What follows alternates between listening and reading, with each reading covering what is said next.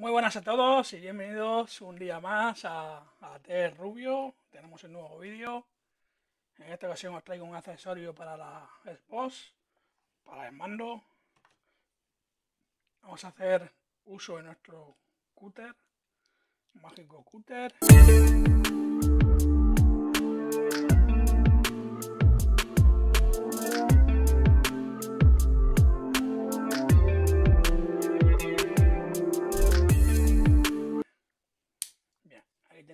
Pedido que nos ha llegado hoy.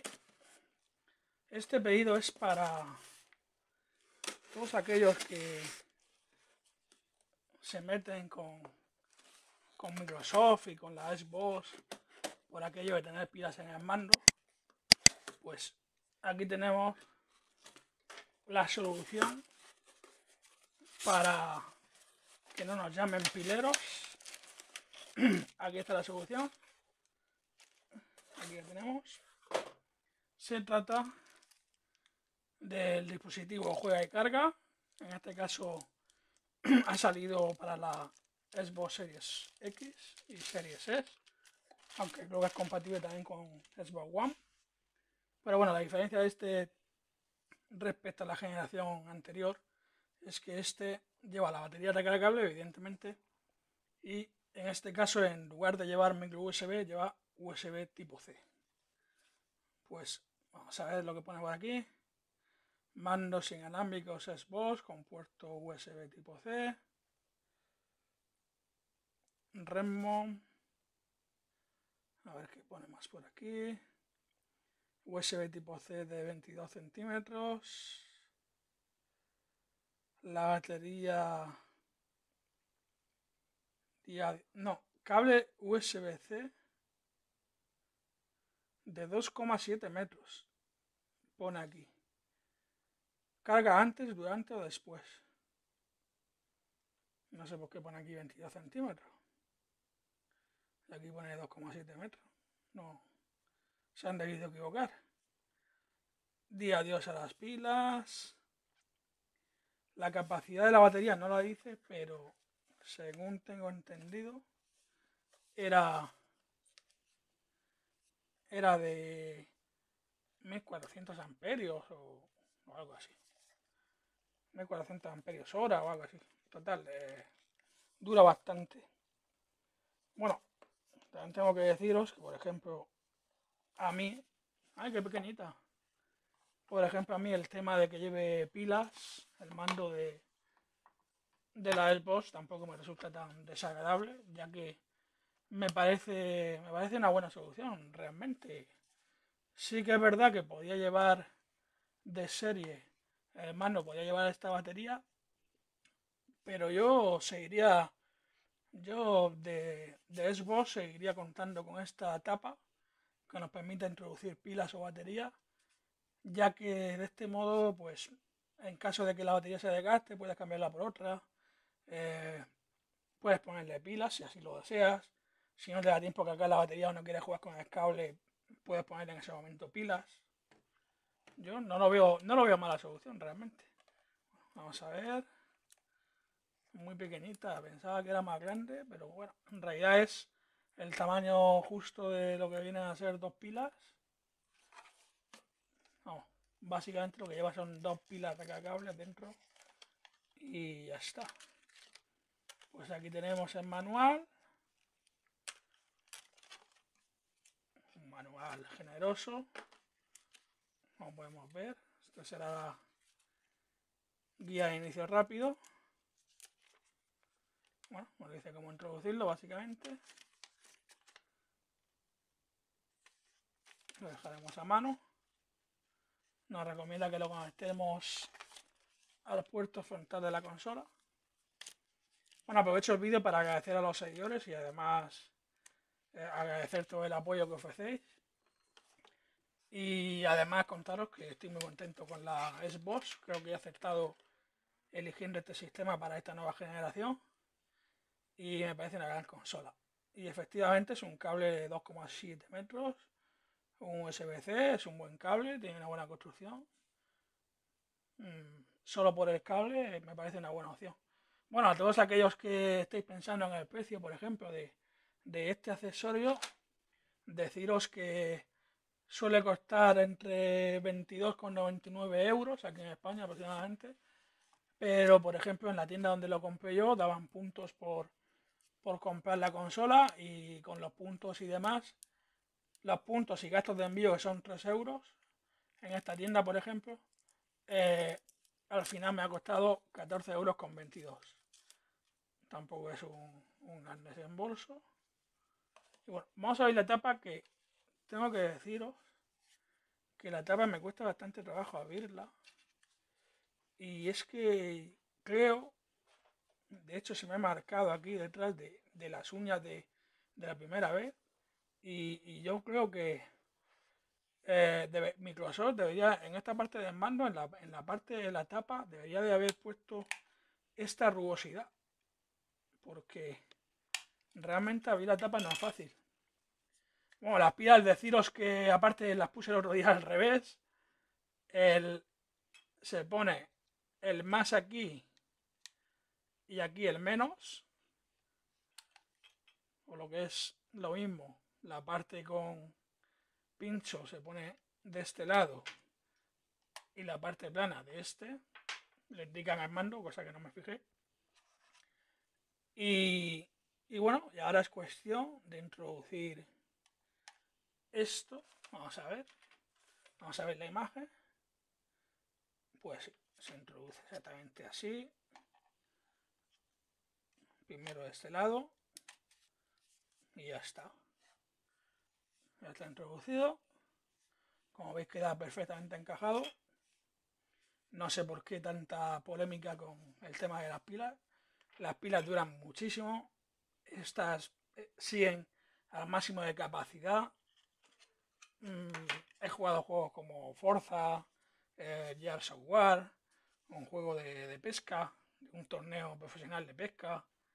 Mm, vamos, he probado ya algunos, algunos juegos del Game Pass, que es otra maravilla de esta, de esta generación de consolas de Microsoft.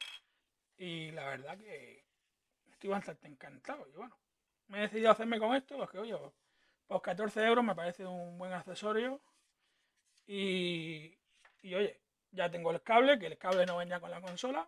Ya tengo el cable para recargarlo y demás. Bueno, no me parece mala opción por los 14 euros. Eh, quien quiera, por ejemplo, pilas recargables, también le puede poner pilas recargables. Pero vamos, por el precio que tiene, creo que merece la pena hacerse con este accesorio original de Microsoft.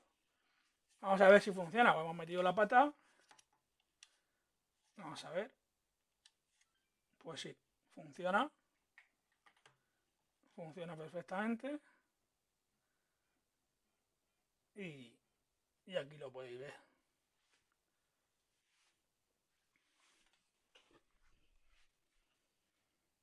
Qué preciosidad de mando por cierto.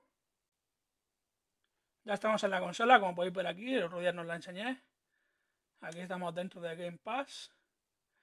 Bueno como veis aquí tenemos diferentes juegos la verdad que es una maravilla los juegos que tiene. El otro día vi, estuve contando así por encima y aproximadamente tiene unos 350 juegos.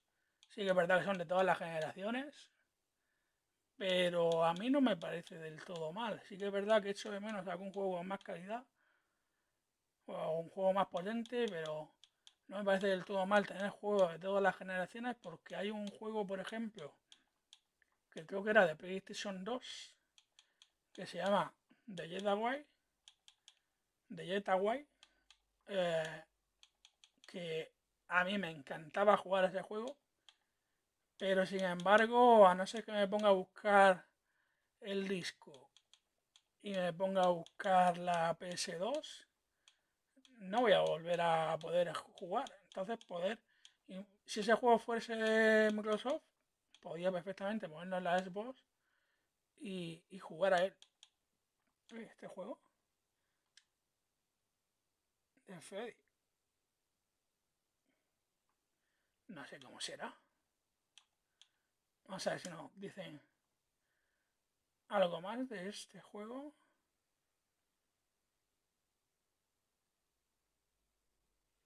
Vamos a ver.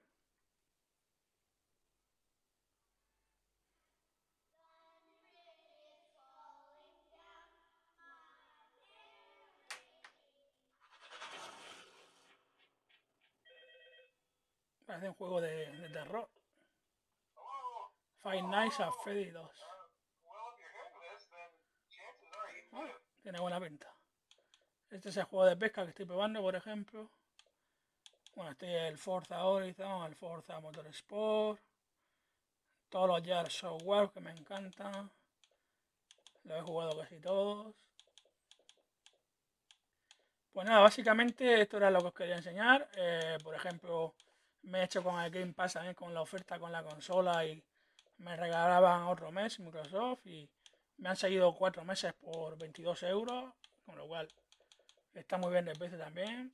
Puedes jugar a todos estos juegos. De hecho, no he comprado todavía ningún juego ni físico ni digital. Estoy jugando lo que se trata de, del Game Pass. Y nada, más, más o menos aprovecho este vídeo pues para lanzaros esa recomendación si tenéis dudas MotoGP también lo tengo. Bueno, sí, sí lo tengo. Tengo, eh, he descargado en total en el, en el SSD, he descargado unos 20 juegos aproximadamente. Ya no me caben más. Eso sí, parece ser. Con el Game Pass se queda corto, la verdad. A ver si baja el precio de esa expansión de memoria porque creo que con el Game Pass eh, hace falta más memoria. Pues nada más chicos, este era el vídeo de hoy para enseñaros ese accesorio que, que tenemos para nuestra Xbox, que la gente habla un poco sin sentido realmente, porque critica mucho el tema de las pilas y yo creo que no estaría de más que en futuras generaciones se incluyan esto en la caja, pero bueno, pues el precio que tiene tampoco es una cosa alarmante, de hecho según decían el de, según decían, y seguro que es así, el de Xbox One es compatible con este mando. Y seguro que es así, porque estos son, al final son como dos pilas recargables. El formato no cambia.